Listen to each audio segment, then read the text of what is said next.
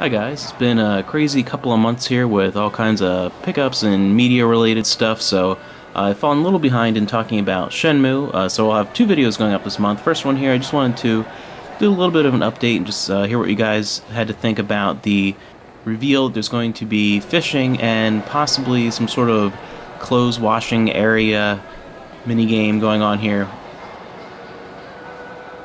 I'm glad that a lot of these updates and a lot of what we've seen seems to show that it's going to be sort of a continuation, evolution of the QuickTime events from 1 and 2. It's not going to radically change the gameplay style, just sort of update it in little ways from what we've seen so far. And it's cool that it's uh, Gachinko fishing. It's not going to be with, you know, uh, bait and tackle. You're not going to be out, out, there sitting there with a fishing rod. It's going to be more active, uh, more interactive. It's going to be kind of cool and I really can't wait till we see a little bit of gameplay of that. That that I'm pretty interested in. As far as the clothes washing area, I think it's going to be more of a one of those kind of daily chore type things, like airing out the books. Uh, but the fishing thing, I think, is going to be a lot of fun. Could be a great way to work on timing and get some more techniques down that way. Could be pretty involved in with learning some new techniques. Could be really kind of cool. So those are pretty neat, and it's interesting seeing that that was one of the things they wanted to include in Shenmue 2, but there wasn't a way to really do that. There's so much they wanted to include in Shenmue uh, 1 and 2, it's crazy, especially Shenmue 2. The game's already massive, and all the ideas they had, oh man. So those are really cool updates, and I can't wait to see more that we're going to get. I'm thinking this year, looks like from what we're seeing, I'm being more and more convinced with every passing month that this will actually be out at the end of this year. I, in the beginning, was like, all right, you know, it's a great target to shoot for, but with a project like this, I could see it being delayed. But over time, I've become a little more and more confident, and I really think we're going to see this before the end of the year.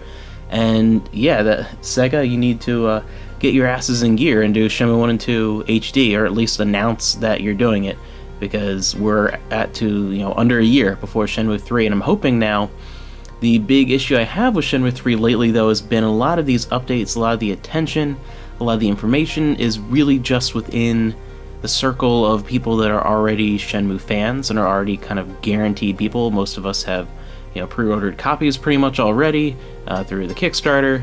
So I really want to see more interaction. I want to see more um, ads or things on big stages with E3 coming up and different shows before then. I was pretty upset that there was no showing or mention or anything of Shenmue at the PlayStation Experience, considering that that is kind of Sony's deal with this here. That's kind of the only, you know, the marketing is the big thing that they're a part of for this, so what the heck. But hopefully this year we're going to start seeing a lot more attention pushed into the mainstream. That's the big thing. We need Shenmue 3 to sell very well and not just sell amongst people that are already Shenmue fans and the few people that are curious. You really need to push it more to a mainstream audience without changing elements of the games to make it more mainstream, just selling it more to the mainstream audience. And I really, really hope that we start seeing more mainstream driven advertising or talking about the game and some more kind of gameplay focused videos.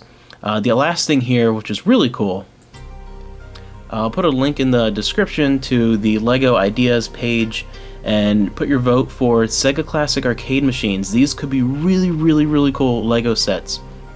Uh, what are the three they have here? I'm trying to remember. Uh, Space Harrier, Outrun, and Thunderblade. I think those are the three they're going to do, and the possible minifigures that could come with them include Yu Suzuki himself. That's really cool, and even a slim possibility of Ryo Hazuki being in there, but even if it's Yu Suzuki, like, that's incredible, and, like, I would definitely grab that Space Harrier machine in a second. I mean, I'd get all of them, obviously, but yeah, those would be amazing if those became actual LEGO products. Right now they're just proposals, but you can put your support behind it, and I think that would be incredible and an amazing thing to add to the collection. So that's kind of it for now. Uh, next time, I kind of want to talk a little bit about um, a topic I was talking about with my friends the other day.